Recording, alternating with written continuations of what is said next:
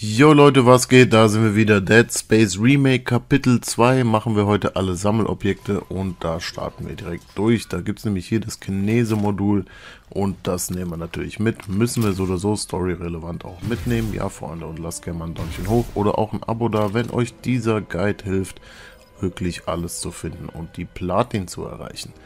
Ja, Kinese-Modul haben wir jetzt eingesammelt und wir verschieben dann diese Kästen dahinter und sind dann auf der anderen Seite. Da gehen wir einmal komplett hier durch unseren Hauptweg entlang und kommen dann hier zu der jungen Dame, die aufgespießt wurde und die hat eine schöne neue Waffe für uns, die wir uns natürlich mitnehmen. Das lassen wir uns nicht entgehen. Sollten wir so oder so mitnehmen, wird euch auch nicht entgangen sein. Ja, und dann, wenn wir die Waffe eingesammelt haben, machen wir auch direkt weiter. So, danach kommen wir hier zu einem Abschnitt, wo wir diese Batterie einsetzen müssen.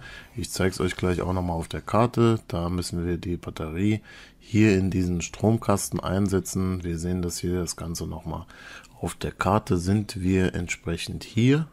Und ähm, ja, wenn ihr das Ganze eingesetzt habt, dann geht ihr theoretisch erstmal hier wieder durch und könnt hier verschiedene Kisten und Truhen und sowas aufmachen und das machen wir auch und gehen hier hinten hin und haben dann hier den nächsten Knoten. Hier kommt noch ein Gegner raus, den machen wir eben noch schnell platt und können dann hier theoretisch auch noch die Werkbank benutzen und dann können wir weitermachen und uns die nächsten Sachen holen. Ja, nachdem wir das fertig gemacht haben, gehen wir wieder raus gehen hier zurück zu der Anlage und switchen einmal den Schutzschalter um, nämlich machen wir das hier auf den äh, linken, die linken Türen und können dann hier zurückgehen, komplett einmal hier durch. Und hier hinten sind jetzt die Türen geöffnet. Wir können hier in das Sprechzimmer gehen und da können wir uns dann die nächste Audiolog holen, der liegt hier auf dem Tisch und den nehmen wir einmal mit, sammeln hier natürlich nochmal alles ein, was es noch so gibt und können dann entsprechend auch wieder weitergehen. Ja, Audiolog läuft noch aus diesem Raum. Wir gehen dann weiter, gehen hier einmal zurück und können dann gegenüberliegend noch die Tür öffnen, hier in der Sicherheitsstation. Und ähm, müssen da aber nicht unbedingt lang, gehen erstmal hier hinten wieder zurück und ähm, können hier mit dem Aufzug einmal nach oben fahren, indem wir hier die Aufzüge aktivieren klicken da einmal drauf, können dann hier nach oben fahren. Hier kommt jetzt ein Haufen Gegner, die machen wir alle platt und dann geht es auch gleich schon weiter. Folgen immer weiter den Hauptweg und dann kommen wir gleich in den nächsten Bereich. Sind dann hier in diesem Bereich, den Hauptweg sind wir komplett gefolgt und in diesem Bereich ist es so, dass wir hier natürlich auch noch was holen können und das machen wir natürlich auch. So, drehen uns einmal um, gehen hier in die andere Richtung hier rechts rein in den Stationsraum Observation und da können wir hier auf dem Tisch noch ein äh, Textlog finden. Das nehmen wir natürlich mit und weiter geht's zum nächsten Sammelobjekt. Ja, dann dauert es eine ganze Weile. Wir folgen immer weiter dem Hauptweg, bis wir hier zur Therapie Zero G kommen und ähm, können dann hier einmal lang gehen. Das erste Mal, dass ihr hier die Gravitation trefft und da gehen wir einmal komplett durch und holen uns dann hier gleich das nächste Audiolog. Das ist ein bisschen verwirrend hier gleich, ähm, denn ihr seid dann äh, schwebend im Raum quasi, geben dann hier rein Zero G Therapie und äh, können dann hier jetzt gleich abheben und hier solltet ihr erstmal alles in diesem Raum einsammeln, bevor ihr gegenüber in den Raum reingeht. Sammelt hier erstmal alles ein. Hier gibt es einige Kisten, Container. Passt aber auf, da ist glaube ich auch noch ein Gegner. Und ja, da schweben wir einmal hier so ein bisschen rum und sammeln hier diese Objekte ein. Ja, nachdem wir alles eingesammelt haben, gehen wir hier rüber in den Bereich Therapie-Wartung. Das ist auch noch in diesem Schwebebereich. Und hier können wir einige Sachen noch holen. Vor allem könnt ihr da ein bisschen drauf aufpassen, dass ihr diese Sachen, die oben auf Schränken liegen oder sowas, nicht vergesst. Aber hier gibt es noch einen Hydro-Kanister, den brauchen wir und ähm, entsprechend startet dann ein neues Audio-File. Den Rest sammeln wir natürlich auch noch ein in den Spinden und gehen dann wieder zurück. Fliegen einmal wieder zurück auf die andere Seite, gehen hier wieder zu diesen Weg zurück, wo wir ähm, das erste Mal das Zero G gemacht haben. Ja, und wir merken, dass hier dann jetzt auf einmal alles kaputt ist. Wir fliegen dann also hier einmal hoch und können dann hier rüber und entsprechend hier um die Ecke fliegen. Da können wir noch ein bisschen Sauerstoff tanken, bevor es weitergeht. Und ja, dann gehen wir hier wieder zurück und können dann hier hinten wieder durch die Tür gehen und sind dann wieder an unserem Ausgangspunkt, theoretisch. Fliegen hier einmal durch und man sieht hier jetzt schon, rechts war eine Tür Level 1.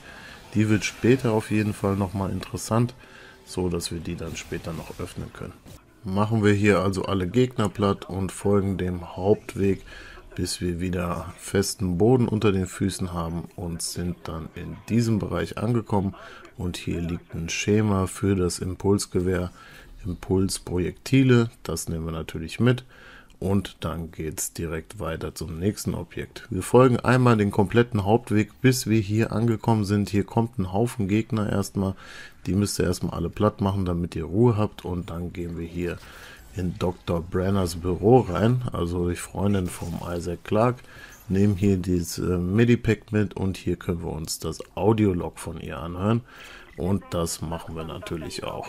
Nehmen das einmal mit, hören uns hier das Audiolog schön an und können dann hier weiter. Hier gibt es nämlich noch einiges einzusammeln, denn wir gehen dann hier hinten nochmal in die Ecke, können hier das Textlog noch mitnehmen. Das brauchen wir natürlich auch für unsere 100% Sammelobjekte und gehen dann wieder weiter zurück. Die anderen Türen sind jetzt eigentlich auch geöffnet. Da durchsuchen wir natürlich noch alles, so dass wir wirklich alles mitnehmen können. Gehen also wieder hier raus in den Hauptgang, gucken wir gerade nochmal auf der Karte. Die Mission ist jetzt an, zerstört die Barrikade, finde ein Schockpad und die Nebenmission von ähm, Nicole Brenner ist jetzt auch an. Wir gehen jetzt hier in Dr. T. Kein Büro, den CSO und können dann hier nochmal ein Hologramm abspielen. Hier hinten liegt dann noch ein Textlog, den nehmen wir natürlich mit und ziehen uns hier einmal das Hologramm ein, gucken, was wir hier besprechen und erfahren dadurch ein bisschen was über die Hintergrundstory. Ja, wenn das Textlog vorbei ist, gehen wir wieder zurück, kommen dann hier in den Hauptbereich wieder zurück und können dann einmal hier hinten lang gehen, machen hier natürlich die Kiste kaputt, schnappen uns die Plasmaenergie und hier links in der Dusche, bisschen weiter ganz am Anfang vorne, liegt noch ein Audiolog. Das nehmen wir natürlich mit und hören uns das einmal an.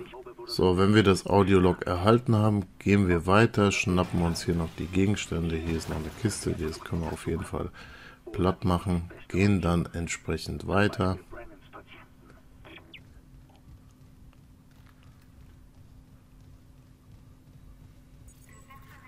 gehen dann hier nochmal komplett zurück und gehen dann hier in den Umkleideraum. Und hier gehen wir weiter den Hauptweg. Hier ist noch eine Bank. Hier können wir noch ähm, die ganzen Spinde öffnen. Das machen wir auf jeden Fall auch, denn wir wollen ja auch ein paar Credits haben. Und hier ist noch ein Schema zur Straße. Das machen wir auch auf jeden Fall.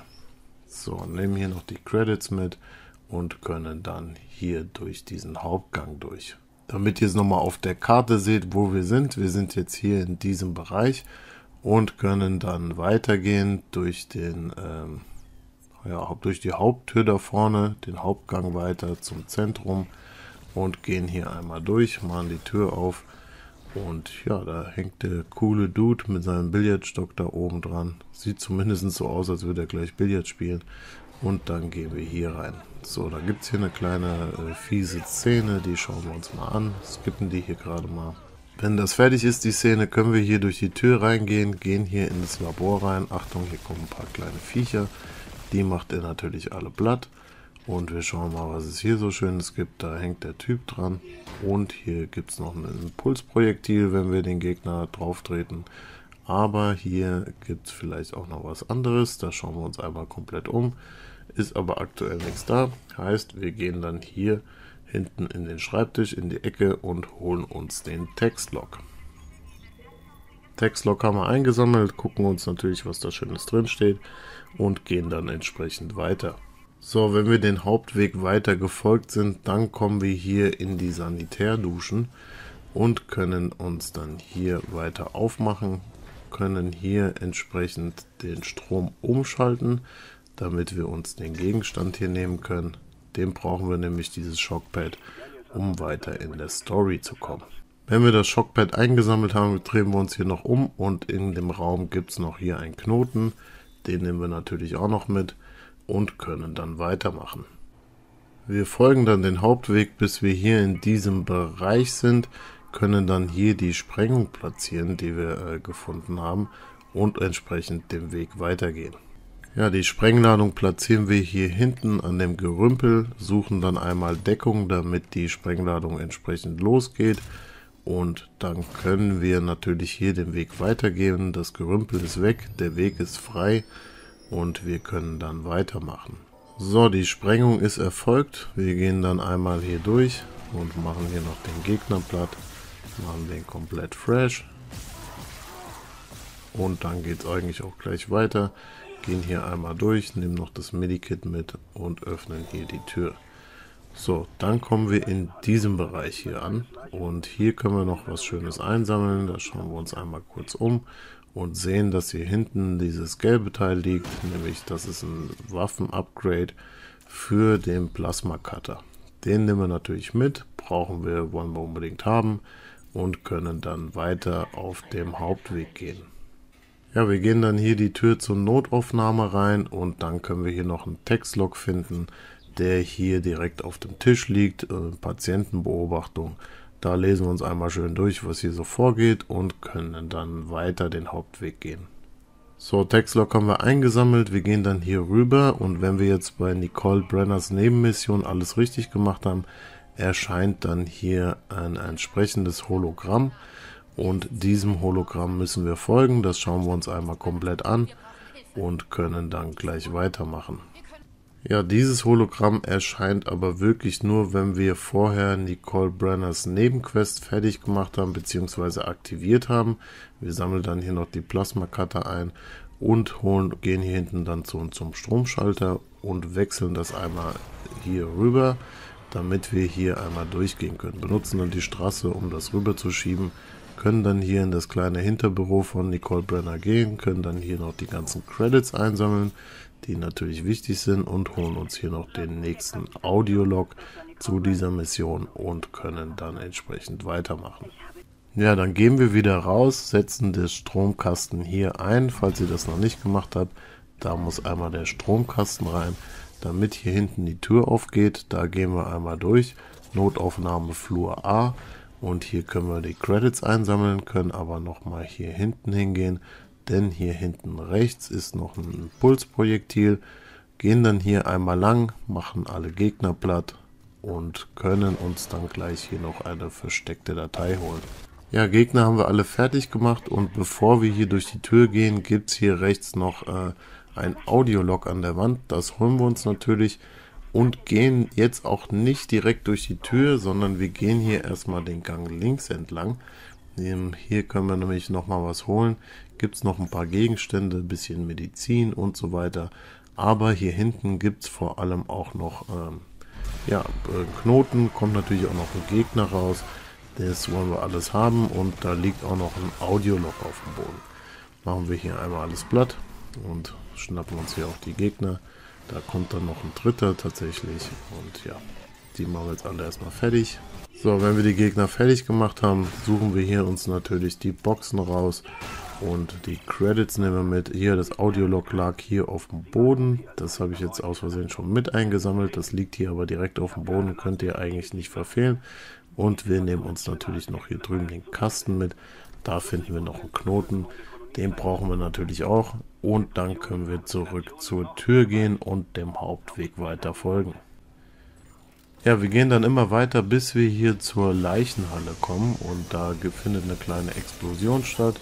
Wir können hier einmal komplett dann durchlaufen durch die Leichenhalle, beziehungsweise bis wir die Leichenhalle erreichen, schnappen uns hier die Batterie, setzen die einmal hier drüben rein. Gegner braucht er eigentlich gar nicht zu beachten, gehen hier nämlich schnell rein in den Aufzug und drücken und dann fährt der Aufzug schon weg.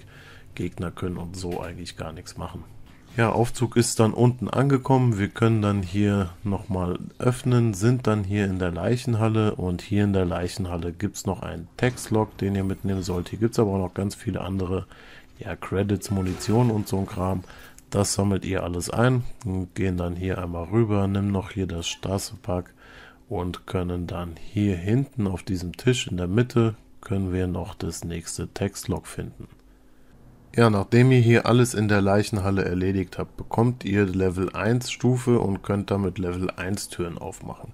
Wir sind dann hier in diesem Bereich und können jetzt natürlich die ganzen Level 1 Türen aufmachen, die wir vorher nicht öffnen konnten, aber auch Level 1 Kästen und Spinde. Und ja, wir gehen jetzt einmal komplett hier durch öffnen hier den Weg zur Klinik und können dann hier hinten an der Wand schon mal das Level 1 äh, ja, Wandkasten aufmachen, können das dann hier öffnen und hier gibt es dann noch einen Knoten.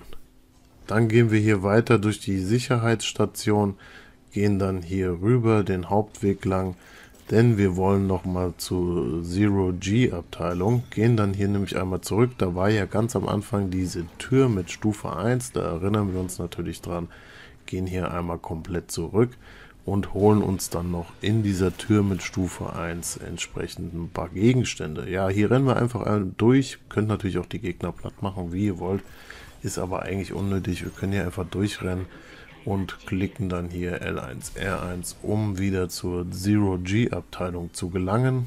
Gehen dann hier hoch, gehen hier einmal durch und da haben wir dann auch schon unsere Tür, die wir vorher nicht öffnen können. Und da landen wir hier einmal und machen jetzt gleich hier links noch die Tür auf. Die hat nämlich eine Stufe 1, die können wir dann öffnen und weiter geht's. Machen hier die Tür auf, Sicherheitsabfrage 1 haben wir jetzt durch das Rig des Captains, können dann hier einmal durchgehen. Hier sind die Spinde, die klicken wir einmal alle an. Da gibt es noch einiges Schönes am Loot. Und vor allem gibt es hier hinten in der Ecke dann noch einen Knoten, den wollen wir natürlich haben, um unsere Waffen abzugraden. Machen hier noch die Kiste kaputt, holen uns die Plasma-Energie. Und hier hinten an der Wand gibt es auch noch einen Schrank. Ja, das war's eigentlich, Freunde. Jetzt können wir wieder zurückgehen, können unserem Hauptweg folgen und ja, das Ganze dann beenden hier in Kapitel 2 und haben da quasi alle Teile eingesammelt. Ja, auf dem Rückweg solltet ihr ein bisschen aufpassen. Da gibt es jetzt noch einige Gegner. Wir folgen dann einmal den Hauptweg. Hier werdet ihr wirklich überrannt. Macht die ganzen Gegner nochmal platt. Und dann gehen wir hier den Hauptweg komplett zurück. Bei mir war das dann ziemlich dunkel. Aber gut, irgendwann kommen wir da hinten an. Und was wir jetzt noch machen können, um das wirklich abzuschließen, wir können nochmal zum Shop gehen und in dem Shop können wir uns dann noch die Upgrades kaufen. Ja, wenn wir wieder in der Sicherheitsstation sind, können wir hier zum Shop gehen und wenn wir es richtig machen wollen, kommen wir hier noch den Knoten kaufen, Energieknoten und ähm, ja, vor allem sonst ihr auch alle Waffen-Upgrades kaufen und dann sind wir fertig mit Kapitel 2, folgen dem Hauptweg, um in Kapitel 3 zu kommen und dann sehen wir uns im nächsten Video, Freunde. Lasst gerne mal ein Däumchen hoch oder auch ein Abo da, wenn ich euch helfen konnte. Würde mich riesig freuen, denn bei mir im Kanal findet ihr mal die neuesten Guides zu den neuesten Spielen und da lohnt es sich natürlich reinzuschauen. Also Freunde, euch noch viel Spaß. Wir sehen uns in Kapitel 3, wenn ihr das möchtet. Und ich sage Adios. Bis dann. Macht's gut. Ciao, ciao.